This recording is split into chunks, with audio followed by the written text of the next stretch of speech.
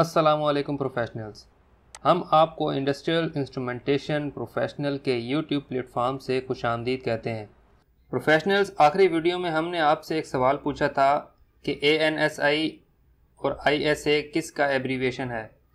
तो इसका सही जवाब दिया था एंट्रो टीवी वाले भाई ने। जी हाँ ए एन एस आई का मतलब है अमेरिकन नेशनल स्टैंडर्ड इंस्टीट्यूट और आई एस ए का एब्रीवेशन है इंटरनेशनल सोसाइटी ऑफ़ ऑटोमेशन ये इदारा 1918 में वजूद में आया और इसका मकसद ऐसे स्टैंडर्ड्स बनाना है जिससे बिज़नेस और लाइफ क्वालिटी को बेहतर बनाया जा सके। अब हम चलते हैं आज के टॉपिक की तरफ़, जो कि है इंस्ट्रूमेंट हुकअप ड्राइंग की तरफ़ जाने से पहले अगर आप इस चैनल पर नए हैं तो चैनल सब्सक्राइब कर लें और बेल आइकन प्रेस करके नोटिफिकेशन भी ऑन कर लें, ताकि आपको हमारी हर नई वीडियो की नोटिफिकेशन मिल सके। इंस्ट्रूमेंट हुकअप ऐसी डिटेल ड्राइंग है जो हमें इंस्ट्रूमेंट्स की टिपिकल इंस्टॉलेशन सही मैनों में बताती है ताकि इंस्ट्रूमेंट्स प्रोसेस के दौरान प्रॉपर तरीके से काम कर सकें।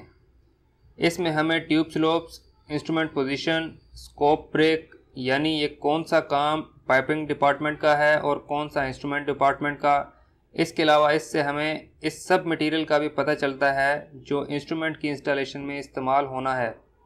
और इससे फिटिंग्स का साइज़ टाइप और मटेरियल का भी पता चलता है। इसके अलावा इससे हमें हर चीज़ की क्वांटिटी का भी पता चलता है।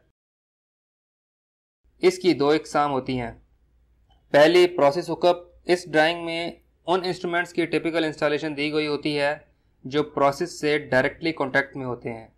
जैसा कि flow transmitter temperature transmitter pressure transmitter level transmitter वगैरह।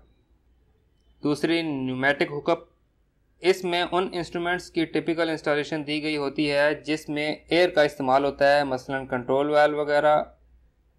हुकअप ड्राइंग की अहमियत को समझने के लिए हम एक मिसाल लेते हैं कि मैं आपको एक डीपी फ्लो ट्रांसमीटर देता हूँ और आपसे कहता हूँ कि जाएँ, इसे लाइन पर इंस्टॉल करके आएँ। तो आप इसे कैसे इंस्टॉल करेंगे? प्लांट पर आपने कुछ फ्लो ट्रांसमीटर पाइपलाइन से ऊपर लगे देखे होंगे और कुछ नीचे। इसकी क्या वजह है? ये इंस्टॉल करते वक्त इस बात का कैसे पता चलता है? फिर कुछ कैपिलरी टाइप होते हैं, कुछ इंटीग्रल और कुछ रिमोट इंस्टॉलेशन वाले ट्रांसमीटर भी होते हैं। जी हाँ इस सब का पता चलता है हमें हुकअप ड्राइंग से। अगर आपको आपका सुपरवाइज़र कोई ट्रांसमीटर या कोई इंस्ट्रूमेंट इंस्टॉलेशन के लिए देता है तो आप उससे सबसे पहले हुकअप ड्राइंग लेंगे और फिर इंस्टॉलेशन करने जाएँगे। अब हम ड्राइंग रिव्यू कर लेते हैं और इसे पढ़ने का तरीका भी देख लेते हैं। इसमें यहाँ सबसे नीचे इसकी रिवीजन हिस्ट्री होती है कि ये ड्राइंग कितनी दफ़ा रिव्यू हुई। जैसा कि यहाँ आप देख सकते हैं कि ये दो दफ़ा रिव्यू हुई। पहली दफ़ा 2016 में और दूसरी दफ़ा 2017 में। इससे ऊपर इंस्ट्रूमेंट की इंस्टॉलेशन के लिए इस्तेमाल होने वाले मटेरियल की डिटेल लिखी हुई है। उसका साइज़ क्वांटिटी प्रेशर मटेरियल और रिमार्क्स यानी ये पाइपिंग डिपार्टमेंट का काम है या इंस्ट्रूमेंट डिपार्टमेंट का काम है। उससे ऊपर आपको एक नोट सेक्शन नज़र आएगा। फिर इसके ऊपर इंस्ट्रूमेंट की टिपिकल इंस्टॉलेशन है। उसके बाद इंस्ट्रूमेंट टैग नंबर्स हैं कि किस टैग के लिए ये ड्राइंग इस्तेमाल होगी।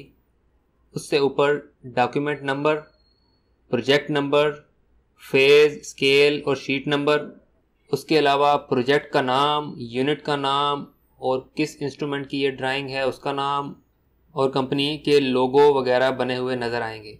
इसमें ज़रूरी हिस्सा जो समझने वाला है, वो बस टिपिकल इंस्टॉलेशन और मटेरियल है। कुछ टेम्परेचर ट्रांसमीटर इंटीग्रल माउंट होते हैं, यानी वो डायरेक्टली लाइन या वेसल पर इंस्टॉल हो रहे होते हैं, जैसा कि आप ये सामने देख सकते हैं। और कुछ ट्रांसमीटर रिमोट माउंट होते हैं, यानी उनकी इंस्टॉलेशन डायरेक्टली लाइन या वेसल पर नहीं होती, बल्कि एक्सटेंशन पर होती है, और सेंसर की केबल एक्सटेंशन तक जा रही होती है। इसकी भी एक मिसाल आप ये सामने देख सकते हैं। तो जब आप टेम्परेचर ट्रांसमीटर इंस्टॉल करने के लिए जाएँ तो टैग ज़रूर देख लें और उस टैग के मुताबिक उस ट्रांसमीटर की इंस्टॉलेशन ज़रूर देख लें, ताकि आपको अंदाज़ा हो जाए कि आया ये रिमोट माउंट है या इंटीग्रल माउंट यहाँ आपको स्कोप ब्रेक भी नज़र आ रहा होगा, यानी फ्लेंस तक पाइपिंग डिपार्टमेंट का काम है और इससे ऊपर इंस्ट्रूमेंट इंस्टॉलेशन का काम इंस्ट्रूमेंट डिपार्टमेंट का है। यानी थर्मोवेल फिर सेंसर उसके बाद केबल और ट्रांसमीटर तक इंस्ट्रूमेंट डिपार्टमेंट का काम है। इसके बाद ये डीपी ट्रांसमीटर देखें, यहाँ आपको कुछ नंबरिंग नज़र आ रही होगी। इसकी डिटेल हम मटेरियल सेक्शन में देख सकते हैं। अगर नंबर वन हम मटेरियल सेक्शन में देखें तो यहाँ इसकी डिस्क्रिप्शन में लिखा है फ्लैंज बॉल वेल्व इसका साइज़ इसकी क्वांटिटी और रिमार्क्स में लिखा है कि ये पाइपिंग डिपार्टमेंट का काम है। उसके बाद नंबर टू देखें, उसमें लिखा है, male connector ferrule compression fitting. इसका साइज़ हाफ़ इंच ओडी यानी आउटर डाया और हाफ़ इंच एनपीटी मेल यानी नॉमिनल पाइप थ्रेड जो थ्रेड वाली साइड होती है, वो भी हाफ़ इंच इसकी क्वांटिटी चार होगी। इसकी प्रेशर रेटिंग 5000 psi और इसका मटेरियल एफ़ थ्री सिक्सटीन होगा। इसके बाद नंबर तीन है सीमलेस ट्यूब इसका साइज़ इसकी लेंथ और इसका मटेरियल भी यहाँ दिया गया है। यहाँ आपको 12 रेशो वन लिखा हुआ नज़र आ रहा है। ये स्लोप डिफाइन करता है। इसका मतलब है हर 12 इंच के बाद एक इंच का स्लोप होगा। और ये रेशो बहुत मायने रखता है। अगर इसमें कुछ भी गड़बड़ होती है तो इंस्ट्रूमेंट की आउटपुट में भी एरर आने के चांसेस हैं। यहाँ नोट सेक्शन में ये पॉइंट्स भी पढ़ने के काबिल हैं। तो ये पॉइंट्स आप लोग खुद पढ़ सकते हैं। इसमें जो अहम पॉइंट है, वो नंबर टू है। That DP transmitter should be installed higher than the pressure tapping point तो इसका मतलब हुआ, जब आप इन टैग्स वाले इंस्ट्रूमेंट्स की इंस्टॉलेशन के लिए जाएँगे तो ये बात जहन में रखनी है कि इंस्ट्रूमेंट इन टैपिंग पॉइंट से ऊपर इंस्टॉल होना चाहिए। इसके बाद इस फ्लो ट्रांसमीटर में मटेरियल तो पहले वाला ही है, ये स्लोप रेशो भी आप समझ गए हैं। लेकिन यहाँ ये नोट सेक्शन में देखें आप, इसमें लिखा है फॉर गैस एप्लीकेशन यानी इंडस्ट्री में जो ट्रांसमीटर लाइन से ऊपर इंस्टॉल होता है, वो गैस एप्लीकेशन के लिए होता है। यहाँ आपको लाइन पर हाई साइड और लो साइड भी दिखाई गई है, ताकि ट्रांसमीटर की इंस्टॉलेशन में कोई गलती ना हो। इसके बाद इस फ्लो ट्रांसमीटर की इंस्टॉलेशन देखें, पहले वाले से बिल्कुल ही मुख्तलिफ़ है। इसकी वजह हम यहाँ नोट सेक्शन में देख लेते हैं। यहाँ लिखा है, for liquid application. Temperature is higher than 300 degree Fahrenheit इसका मतलब यानी इंडस्ट्री में हमें जो ट्रांसमीटर टैपिंग पॉइंट से नीचे लगे हुए नज़र आ रहे होते हैं, वो लिक्विड की लाइन पर लगे हुए होते हैं। इसमें यहाँ स्लोप रेशो भी पहले जैसा ही है, लेकिन इसमें मटेरियल कुछ इजाफी इस्तेमाल हुआ है। हम मटेरियल सेक्शन में देख लेते हैं कि ये नंबर फोर जो है, ये है नीडल वेल्व थ्रेडेड और इसका साइज़ प्रेशर रेटिंग, इसकी क्वांटिटी और इसका मटेरियल भी बताया हुआ है। इसके अलावा स्ट्रेट यूनियन जॉइंट और टी टाइप यूनियन भी इसके अंदर इजाफी हैं। इसके बाद यहाँ लेवल गेज गिलास की इंस्टॉलेशन दिखाई गई है। उसके बाद डिस्प्लेसर लेवल ट्रांसमीटर इसके बाद capillary type DP level transmitter की इंस्टॉलेशन कुछ इस तरह से होगी। इसके बाद ये प्रेशर गेज की हॉरिजेंटल और वर्टिकल लाइन दोनों की इंस्टॉलेशन देख लें। इनकी नंबरिंग की डिटेल आप मटेरियल सेक्शन में देख सकते हैं। इसके बाद ये भी प्रेशर गेजेस ही हैं, लेकिन इनकी इंस्टॉलेशन पहले वाली गेजेस से थोड़ी मुख्तलिफ़ है। इसमें यहाँ आपको 200 सौ mm का पाइप इंस्टॉल किया हुआ नज़र आ रहा होगा। इसके अलावा ये लाइंस लगी हुई नज़र आ रही हैं। ये प्रोसेस लाइन पर इंसुलेशन को ज़ाहिर करती हैं। इसके अलावा बाकी सब मटेरियल आलमोस्ट सेम है। बाद जगहों पर प्रेशर गेजेस और प्रेशर ट्रांसमीटर्स के साथ इस तरह की ट्यूब या पाइप भी इस्तेमाल होता है, जिसे हम पिक टेल या साइफोन कहते हैं। इसकी तफसील हम किसी और वीडियो में बयान कर देंगे। इसके बाद यहाँ आप डिफरेंशियल प्रेशर गेज की इंस्टॉलेशन भी देख सकते हैं। ये डिफरेंशियल प्रेशर ट्रांसमीटर से बिल्कुल मिलती जुलती है। इसमें स्लोप रेशो भी सेम ही है। टैपिंग पॉइंट से ऊपर इंस्टॉल होगी। प्रेशर गेजेस की तरह प्रेशर ट्रांसमीटर्स की इंस्टॉलेशन भी मुख्तलिफ़ हो सकती है। जैसा कि ये डायरेक्टली इंस्टॉल्ड प्रेशर ट्रांसमीटर आपको यहाँ नज़र आ रहे होंगे। एक हॉरिजेंटल लाइन पर, एक वर्टिकल लाइन पर। जबकि यहाँ प्रेशर ट्रांसमीटर की इंस्टॉलेशन बिल्कुल मुख्तलिफ़ है। इसमें इंसुलेशन की वजह से एक पाइप का पीस इस्तेमाल किया गया है। इसके बाद टू वे मैनीफोल्ड के ऊपर प्रेशर ट्रांसमीटर को इंस्टॉल किया गया है। फिर कुछ डीपी ट्रांसमीटर्स की इंस्टॉलेशन में एक इम्पल्स लाइन पर इस तरह का टू वे मैनीफोल्ड भी इस्तेमाल किया जाता है। इसके अलावा इन नंबरिंग की डिटेल्स हम मटेरियल सेक्शन में देख सकते हैं, जैसा कि हम पहले भी देखते आए हैं। इसके बाद ये एलटी की इंस्टॉलेशन देखें।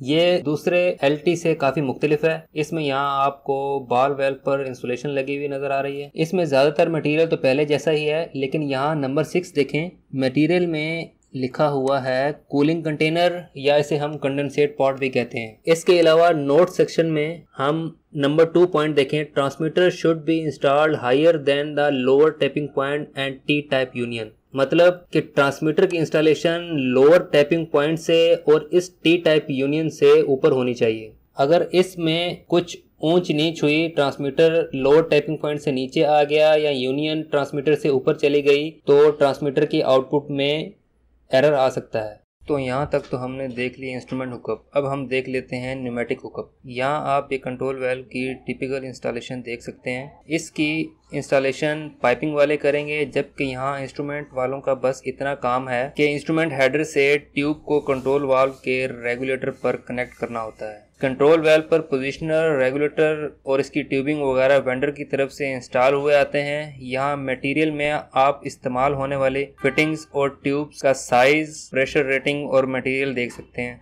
इसी तरह से ऑन ऑफ़ वेल्व की भी टिपिकल इंस्टॉलेशन की डिटेल दी हुई है। इसके बाद तमाम इंस्ट्रूमेंट की केबल कनेक्शन डिटेल भी दी गई होती है। जैसा कि ये इंस्टॉलेशन देख रहे हैं मटेरियल में कंड्यूट एंड बुश और ग्लैंड का साइज़ वगैरह बताया हुआ है।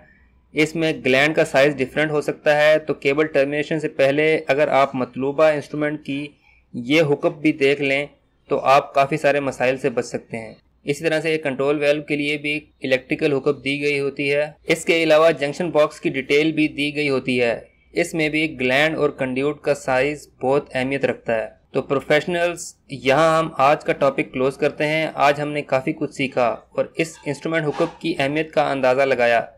लेकिन अगर कहीं कुछ समझ ना आया हो या कोई गलती देखी हो तो कमेंट्स में ज़रूर बताएँ ताकि हम भी आपसे कुछ सीख सकें। वीडियो पसंद आए तो लाइक करना ना भूलें और अपने दोस्तों से भी शेयर करें। इसके साथ ही मुझे इजाज़त दें। नेक्स्ट वीडियो में एक नए टॉपिक के साथ मुलाकात होगी। अल्लाह Thank you.